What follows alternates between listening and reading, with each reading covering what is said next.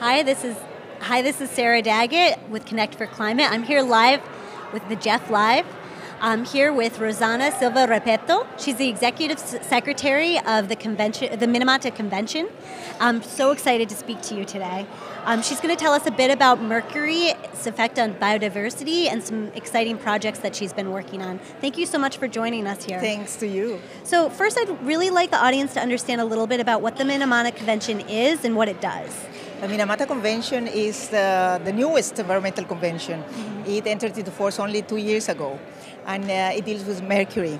And its objective is to reduce the negative effects of mercury on human health and the environment. Mm-hmm. And uh, in fact, it's, it's, um, it's really very fascinating to work on this because the name of the, of the convention comes from a very beautiful bay in Japan, which is the Minamata Bay, where um, a terrible um, situation uh, took place like 50 years ago.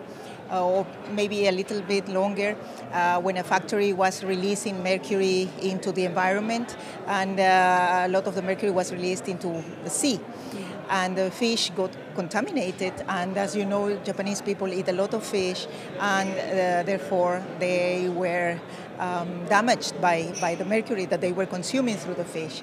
And it is so sad to see what happened because mercury can provoke uh, neurological damage, muscular damage, and uh, we still have some of the victims alive uh, who were in the womb of their mothers when, when they became contaminated with, uh, with mercury. So, um, as they said to me in Minamata, they want to avoid this to happen anywhere else in the world, and this is what we do through the Minamata Convention on Mercury. Well, th- thank you for the work you do. It's so important to the protection of biodiversity and, and life on our planet. I, w- I want to hear a little bit about um, a project that you're really excited about. I heard you've been doing a lot of work with indigenous people, and I, I would love to hear more about it.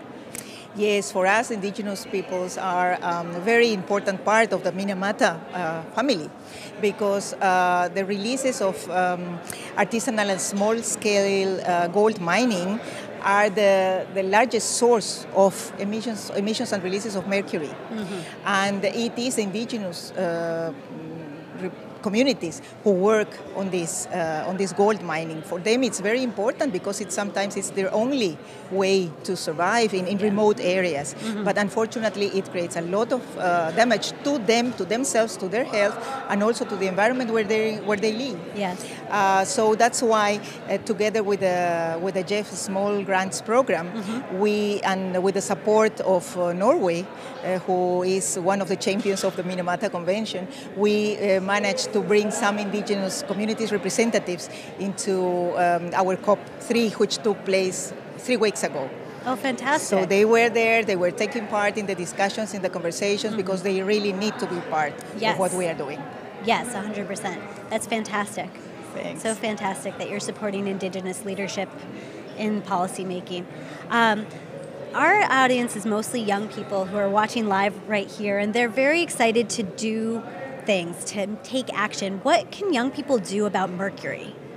Well, young people can uh, change their uh, consumption patterns, for example, mm-hmm. because we have mercury in uh, lamps, in bulbs, in batteries, in makeup, yeah. in whitening creams. So uh, they could stop using those um, products. There are already alternatives to those products, so it's a matter of looking for them. But also, what I would tell them is to work hard in innovating, creating uh, more alternatives. They could do some research, uh, those who like uh, science, and uh, to be innovative and create alternatives so that we, we avoid this uh, Minamata tragedy again. Yeah, and avoid the use of mercury.